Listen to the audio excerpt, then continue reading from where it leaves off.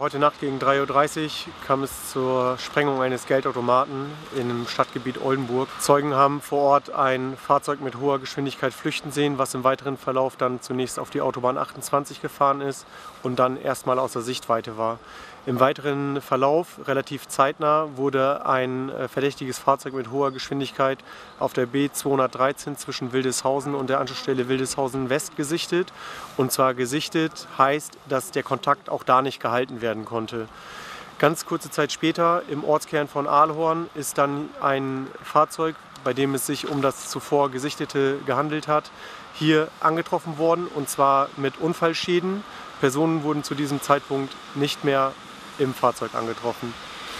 Wir haben umfassende Suchmaßnahmen und Fahndungsmaßnahmen um, umgehend eingeleitet. Es war eine Vielzahl von Polizeikräften in diese Maßnahmen involviert und die hatten zum, ähm, zum aktuellen Zeitpunkt gegen 8.40 Uhr ähm, zur Folge, dass wir bei zwei Polizeikontrollen insgesamt acht verdächtige äh, Männer festnehmen konnten.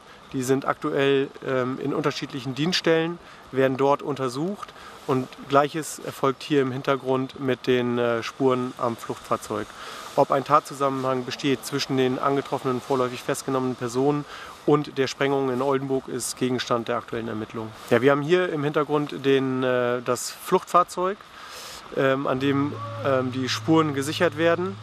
Ähm, Gleiches gilt für die Spuren bei den vorläufig festgenommenen Personen. Gleiches aber auch am Geldautomaten, der von der Tat betroffen ist.